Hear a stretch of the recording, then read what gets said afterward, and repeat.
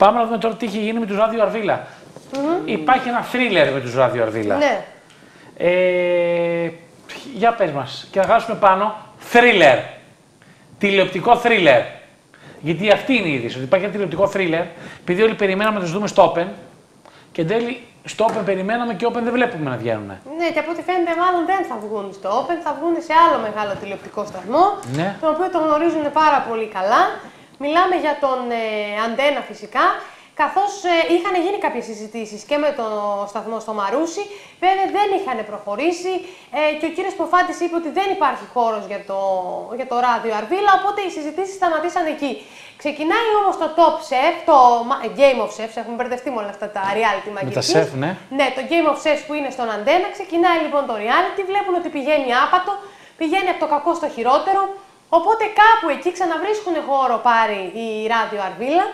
Ξανάρχονται σε συζητήσεις και ο σκοπός είναι να υπογράψουν, να κόψουν το Game of Chess και να πάρουν το ράδιο Αρβίλα στη θέση του.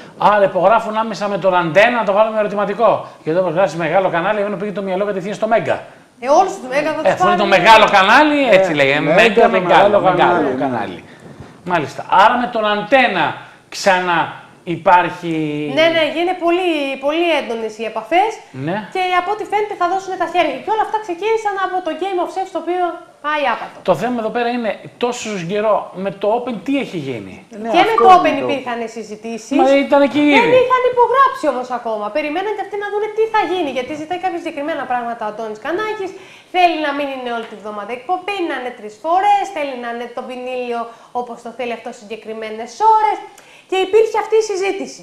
Τώρα στον Ατέρα, επειδή τα έχουν βρει σκούρα, του λένε έλα να κάνεις ό,τι θες. Θες τρεις φορές, τρεις φορές τη βδομάδα. Θες το βινίλιο, θα πάρουμε και το βινίλιο. Αναγκαστικά προκειμένου να γλιτώσουν από το βατερελό από το Game of Set. Ναι, έχει μια λογική βέβαια, έτσι, αυτό. Γιατί πιστεύουν και το λογικό είναι ότι θα φέρει νούμερα ο Αντώνης Κανάκης και η παρέα του. Μάλιστα. Να δούμε βέβαια τι θα πει και ο Ιβάν Σαββίδης από την άλλη, έτσι, οικονομικά. Ναι, Για να δούμε. Πάντως υποτίθεται Το θα είναι- θρίλερ είναι θρίλερ πάντως, Υποτίθεται όντως. ότι θα τους βλέπαμε στο Open. Και ακόμα- Είχε ακουστεί και τον Αντένα, το είχε πει ο Αντένα, το είχε διαψεύσει. Τώρα ξανά επανέρχεται ο Αντένα και οι φήμες κυκλοφορούν και λένε ναι, ότι θα τους έχουμε εμείς και τους θέλουμε και είμαστε πολύ κοντά. Υπάρχει ένα thriller, το οποίο περισσότερο thriller παίζεται για το Open.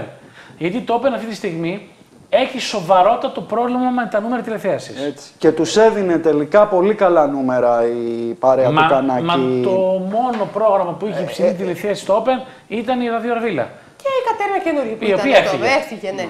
Και η Σύση Χριστίδου, η οποία έφυγε. ναι. Η Φήμα Βραγάνη έχει μείνει μόνο.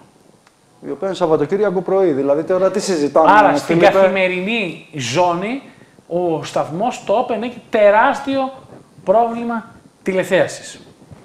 Για να δούμε. Για να δούμε τι θα γίνει.